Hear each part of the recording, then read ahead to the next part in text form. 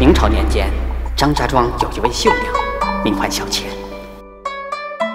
这张小倩秀色可人，却独独倾心一位毛秀才，用自己攒下的所有家财送毛秀才进京赶考，而毛秀才也许下了承诺：金榜题名时，洞房花烛夜。放心吧，小倩，等我高中，你便穿上红嫁衣，我用八抬大轿前来迎娶你。有违此事，我一事不得。毛郎，我等你。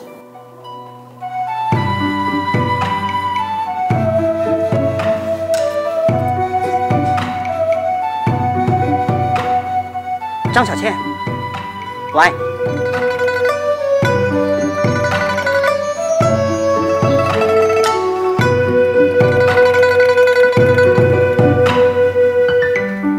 不久后。毛秀才果然高中状元，而张小倩穿着自己绣好的大红嫁衣，每天在厢房里等待他的归来。可没想到的是，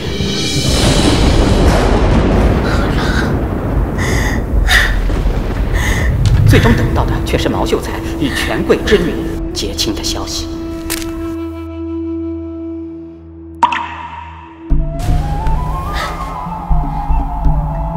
心难，我就算化作厉鬼，也要让你的子孙永无宁日。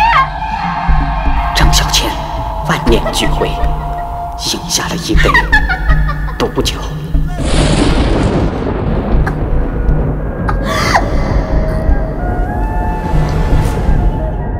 张小倩怨念太深，便夜夜痴缠在毛秀才的枕边。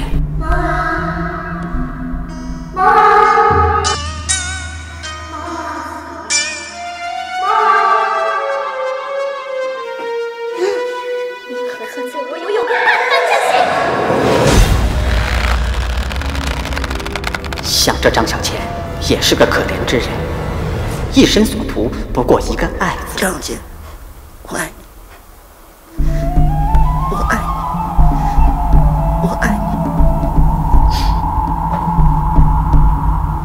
我爱你。就算化作厉鬼，还是不念旧情。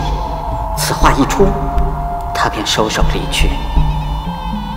而后，毛秀才逝去。张小倩便一直跟着他的子孙后代。每当张小倩出来作祟，儿孙们便如法炮制。张小倩，我爱你，张小倩，我爱你，张小倩，我爱你。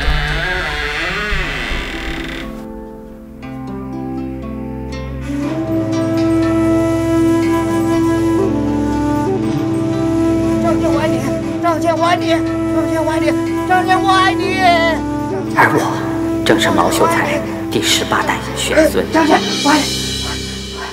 哎，哎呀，老婆，老婆，你听我解释，这都是祖上做的孽。你要不信的话，你问我爸。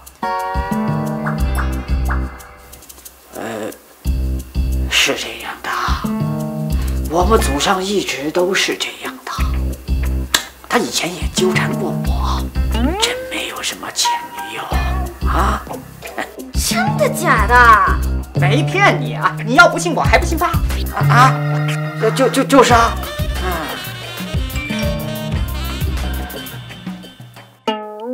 哼，女鬼还会给你发信息是吧？啊！老婆，你想，他都活那么久了，他应该懂一点高科技。哎，鬼打墙也应该与时俱进吧？是吧